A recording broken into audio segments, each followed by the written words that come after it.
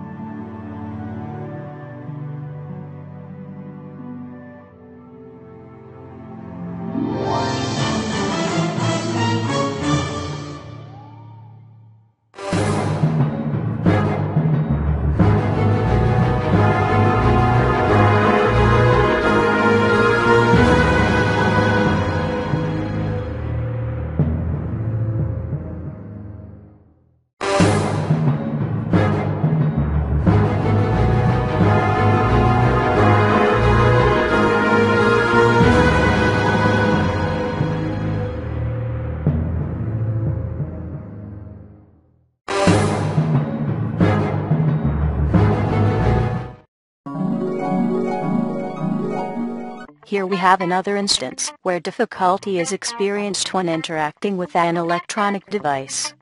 This time the device is a coffee maker. Observe what happens in this next clip.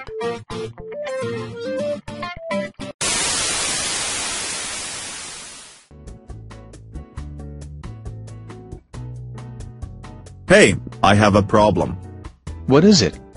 Hopefully I will be able to help. It this stupid coffee maker. I just can't seem to get this thing to brew and it's really upsetting me. No problem I'll show you how to use it. That's the problem right there. It's not just the coffee maker, so many electronic devices I come across and it's the same thing. I just can't seem to interact with them. I think I'm too old for the scrap. I get where you're coming from but a little patience and persistence goes a long way. If you really want to be abreast of how to use these devices you can't give up on a few tries. I hear you and I'll try but it's not as easy as you make it sound. Not easy, I just don't allow these devices to frustrate me, so I take my time when trying to learn how to use them. That's my advice for you today. Okay well thank you for the advice and hopefully it'll go a long way but can you still help me with the coffee maker? My programming dictates that from these two videos the primary reason as to the inability of interacting efficiently with the electronic devices featured in these clips are lack of patience and the fact that these humans lack the consistency needed to learn and understand how the devices in question work. Many other determine how humans interact with electronic devices, but in this case we see patience and consistency being the dominant factors. This has been Artemis Prime signing off and thanking you for your time and attention. Goodbye.